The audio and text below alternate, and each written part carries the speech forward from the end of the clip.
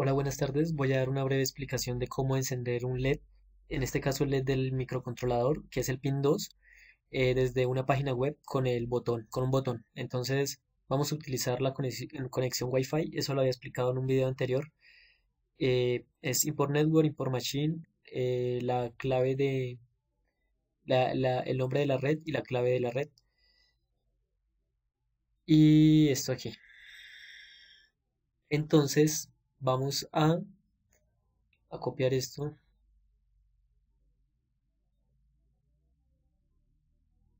Vamos a copiar esto y lo vamos a pegar en boot. Entonces e, el boot normalmente al conectar el microcontrolador te hace espacio te hace un boot. Guardamos el boot aquí y el botón web esto sí se puede hacer por fuera del boot. Entonces por fuera de la memoria interna del microcontrolador hilamos aquí.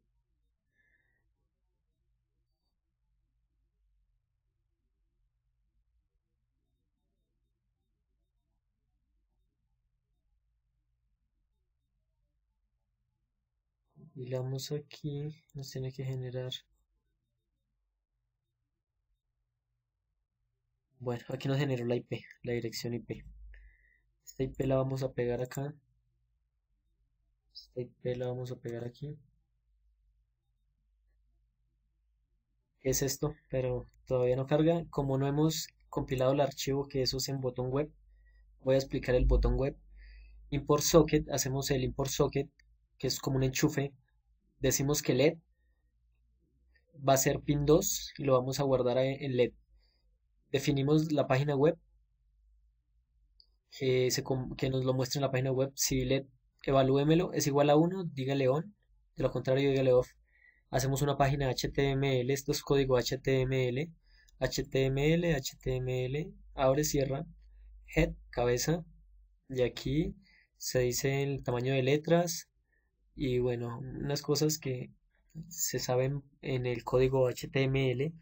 Un body, body es cabeza, eh, perdón, body es cuerpo, head es cabeza, body cuerpo.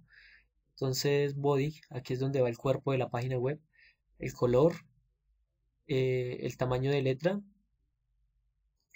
mm, y la imagen, aquí está la imagen que guardamos, su tamaño y el toggle que es como que evalúa, evalúa aquí el value.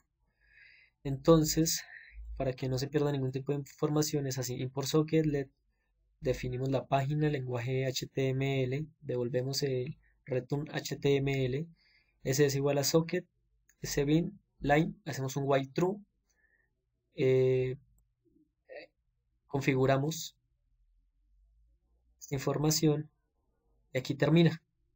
En el try, en el tree y si evalúanos el LED si LED value es igual a 1 eh, apáguelo. De lo contrario, si LED value es igual a 1, de lo contrario, de lo contrario, mira, aquí, LED value es igual a 1, envíenos un 0, o sea que lo apague. Y si LED value, y luego, o, si no, en 1. Este es el pin, este es el pin eh, de, de entrada. Entonces, vamos a compilar.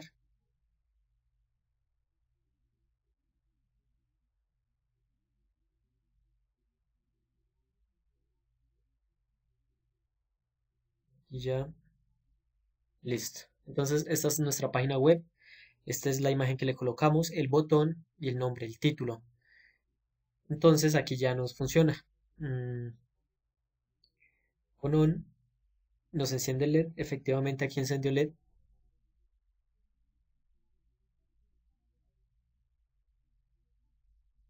A ver dejémoslo pensar.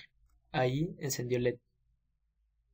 Efectivamente encendió LED LED toggle, toggle nos, enciende el LED efectivamente y él enciende en la placa, aquí, él enciende en la placa.